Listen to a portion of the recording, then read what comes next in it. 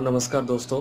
आ, मैं आ, मतलब मेरे एरिया में अभी जियो नेटवर्क चालू हुआ है तो जियो नेटवर्क के बारे में मैं कुछ बोलना चाहता हूँ। ऐसा है कि जियो नेटवर्क जो है अभी नया चालू हुआ है और आ, मतलब आने वाले दिनों में मुझे पता नहीं है बट अभी तो क्या है कि जियो का जो सिम मिल नहीं रहा है मार्केट में और जियो मतलब उसका कस्टमर केयर जो है उसमें अगर कॉल करो तो वो कॉल मिलता नहीं है। और ये बहुत ही प्रॉब्लम्स है। ठीक है। तो अभी पता नहीं है, वो लोग सिम भी उनको मिल रहा है तो वो ब्लैक कर रहा है सिम ठीक है। और अभी जो है फ़िलहाल फ़िलहाल मुझे पता नहीं है कि कितना दिन ये रहेगा और कब मेरा सिम एक्टिवेट होगा। एक सौ पचास रुपये में मैं सिम खरीदा हूँ और आई डोंट नो ओके और ये लोग जो है अभी तो बहुत पैसा ले रहा है ठीक है.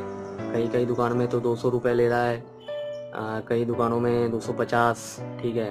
मेरे सामने वाले दुकान में एक सौ एक सौ रुपये ले लिया ठीक है.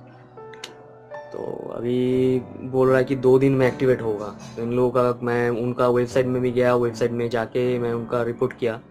तो उनके वेबसाइट में भी मतलब कुछ ज़्यादा सपोर्ट नहीं मिला। बोला कि एक दिन के अंदर कॉल करेगा।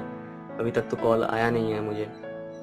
और ऐसा हाल होता रहा तो पता नहीं है। मैं थोड़ा सा स्पीड को देखा है। स्पीड काफ़ी अच्छा है। और स्पीड ठीक ठाक ही है। स्पीड ऐसा रहा तो सही बात है।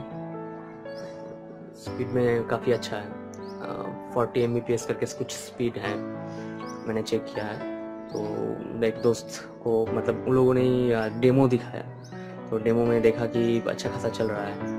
पर पता नहीं कि उसके बाद क्या होगा। ठीक है। तो यही मैं रिव्यू देना चाह रहा था कि मुझे लगा कि यार क्या प्रॉब्लम्स है? और बहुत सारे मैंने लोगों का सुना है कि सिम में बहुत सारा प्रॉब्लम हो रहा है। जैसे कि उनका कस्टमर केयर कंप्लेन नंबर ये सब उनको मिल नहीं रहा है। और बहुत सारे और भी प्रॉब्लम्स है, चल रहा है। ठीक है दोस्तों तो मिलते हैं बाद में।